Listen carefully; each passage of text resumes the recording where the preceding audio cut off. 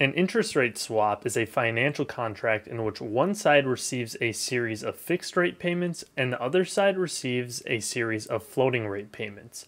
The value to both sides should initially be zero, but because this is a zero sum game, after some time passes and how rates change in the market, one side will gain exactly what the other side loses.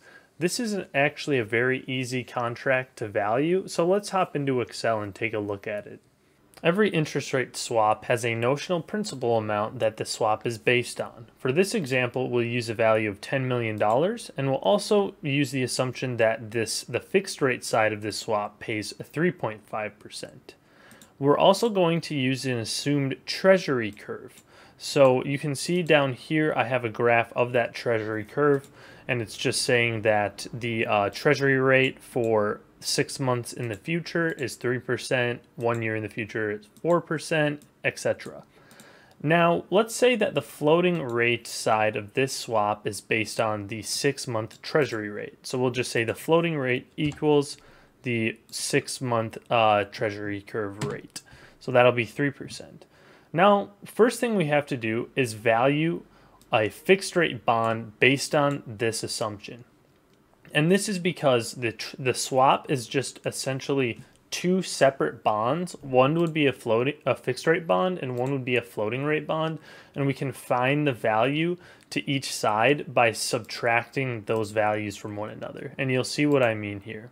So if we're on the side that's uh, receiving the fixed rate bond, we would be receiving a cash flow equal to this this uh, annual fixed rate of 3.5% divided by 2 multiplied by this notional principal of $10 million.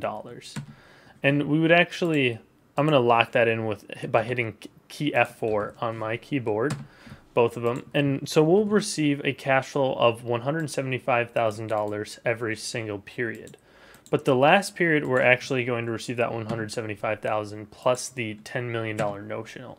So these this is our table or series of cash flows for the fixed rate bond side of this swap. Then the present value of each one will just be equal to the cash flow for that period divided by 1 plus the interest rate for that period of time to the exponent of how many years in the future that is. So we hit enter and now we've I'm copying with control C and I'm just pasting formulas. Now we can see the present value for this entire series of cash flows. And then we'll do equals sum to find the total value of this hypothetical fixed rate bond. And we find that to be $10,004,175. Now we need to calculate the float, the value of the floating rate bond.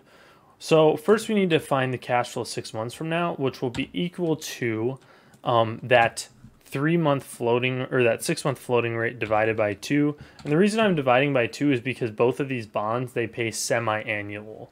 So we're taking the rates divided by two to reflect that it's semi-annual, not annual. And then we'll multiply that rate by the notional principal. And then here we're actually going to add the notional principal once again. So we receive this whole cash flow 0.5 years in the future. There's no cash flows beyond that because this is a floating rate bond that reprices itself back to par at every single coupon date. So now we'll calculate the present value of this cash flow, which is equal to this divided by 1 plus the interest rate for that period of time uh, to the exponent or to the power of however many years in the future, which is 0.5. And then the value for this one is just going to be equal to sum of the whole range, which is just simply that one present value.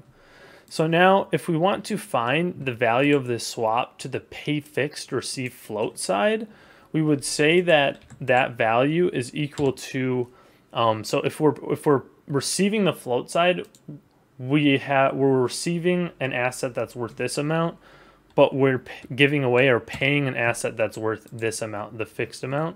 So we're actually at a loss if we are on the side that um, that receives float and pays fixed. And then the value to the receive fixed pay float side is just the opposite of the value to the uh, receive float pay uh, fixed. So here we go. And so now we see that one side's loss is exactly equal to the other side's gain.